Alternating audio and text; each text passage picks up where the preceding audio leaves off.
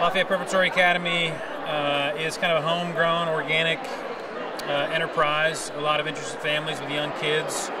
It kind of sprung out of the Lafayette Square neighborhood, um, and it is going to be a K through two, opening in the fall of 2013.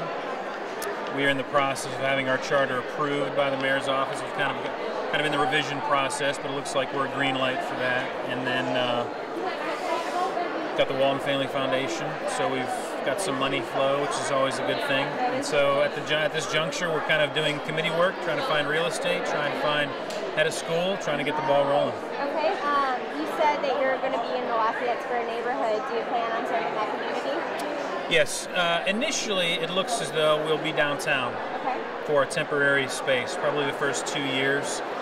And then after that, we're looking to make our permanent home for the elementary school in the Lafayette Square neighborhood. So the neighborhoods that we are servicing uh, really include kind of the, the downtown and near south side kind of corridor. Anybody in the city can come, but that's kind of our focus. Excellent. What do you think will make your school unique? Well, I think ultimately our uh, relentless focus on the academics, which I'm sure everybody, every charter school says.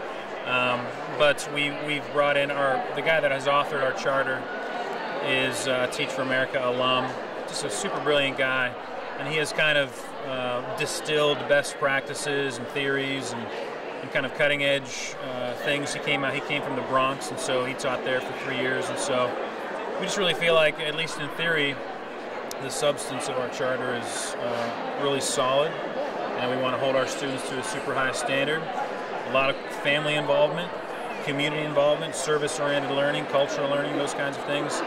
So racially and socioeconomically integrated.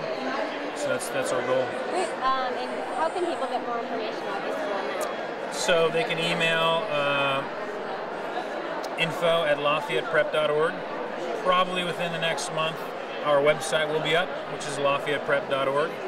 Uh, but at the moment, just email, email that and we can get any information back.